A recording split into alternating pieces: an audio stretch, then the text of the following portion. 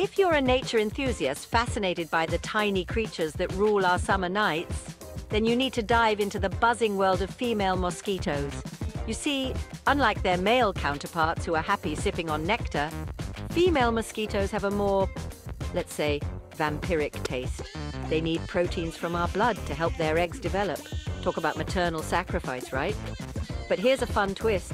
When a female mosquito picks you as her target, she's actually using her super senses. She's equipped with chemical detectors that are so finely tuned, they can sense the carbon dioxide you exhale from almost 75 feet away. And once she lands, it's not just a simple poke.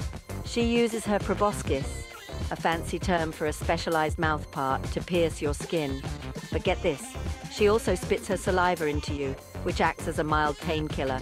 Sneaky, right?